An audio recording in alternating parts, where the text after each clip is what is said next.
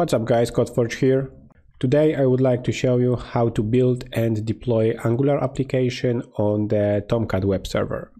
First of all, we want to download the Apache Tomcat web server. So from the page tomcat.apache.org slash download, we want to download the version 9.0.31.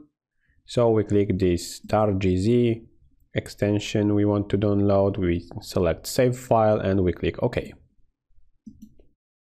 Right now it's on our disk, so let's go to the downloads directory and over here we want to extract our web server. So let's move it. So we will say move to and we want to go to the programs directory and we click select.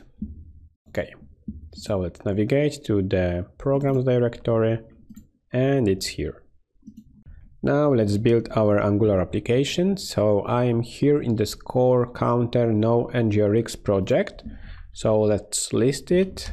It looks like this. We don't have the dist directory, which should be here, but it will appear after building our application.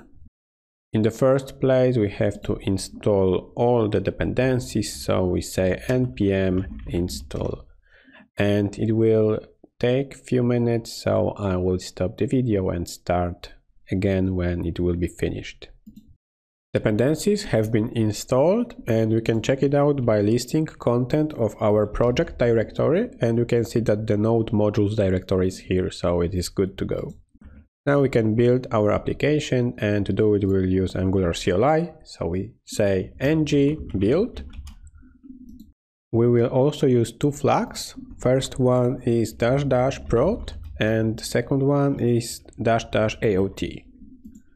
By using those two flags, our package will be optimized for the web deployment and it will be also smaller. And one more flag which we want to use is dash dash base dash href and we want to set it to the name of our project and you will check it out later what why we're doing it. So score counter no ngrx. Now we have to hit the enter button and after a few seconds our application will be built. So I will make a cut. Okay, our application is built. Now we can list the content of our project directory and we can see that dist directory appeared and this is our deployment package.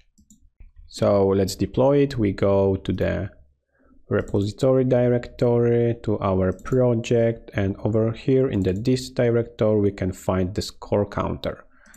And this is what we want to copy. So we hit ctrl c we go back to the home and to the programs directory.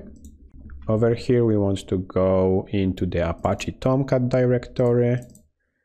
Over here we want to go to the web apps directory and here we want to deploy our application score counter. You remember that when we were building the application we used this command over here and as the base href we have provided score counter no ngrx and it should be the name of the directory and our directory is the score counter so we have to change some things inside of our deployment package. So we have to go to the score counter and here we have the index.html file. We have to open it with the text editor. So let's say we want this one and we want to say select. And over here we can see this base href and we should change to the score counter and save the file. So we can close it right now. Before starting the server, let's also define a user which will have access to the web GUI of the Apache Tomcat. So in the Apache Tomcat directory, in the conf directory, we want to open the tomcat users.xml and we want to open it using the text editor at the very bottom of this file we can see there is commented section and we have some notes. So the no user is included in the manager GUI role required to operate the manager HTML web application. And this is what we want to enable. So we'll copy this row over here and we'll paste it. And we will change the name of the user to Tomcat. And password we want to change the Tomcat also. You of course don't want it to be the same as the username. And the last thing we have to change over here is to set the role so it was manager-GUI. Now we can save this file and close it. Now we can start our web server, so let's navigate. We want to cd to the home directory and then we want to go to the programs. This was the Apache Tomcat and we want to navigate to the bin directory. Let's list the content and over here we can see that there is the catalina.sh uh, file which we want to use. So we say dot slash Catalina sh and you want to say to start. And it appears that we don't have the Java. Okay guys, I have installed Java so we can give it one more try. So we say dot slash and we want to use catalina.sh start. And after a few seconds we can see that our Tomcat server started. So let's open it up in the web browser. I have opened web browser at the localhost port 8080 and this is where our Tomcat landing page is living. Over here we have manager app button which we click and over here we are being prompted for passing the username and the password and this is why we have defined this Tomcat user to access this manager app. So we say Tomcat with the same password, we don't want it to save it and we are over here. Here is our application score counter which we can access and when we click it we are being navigated and it looks like it's working so let's try it out. We can increase and decrease the score and we can also reset it.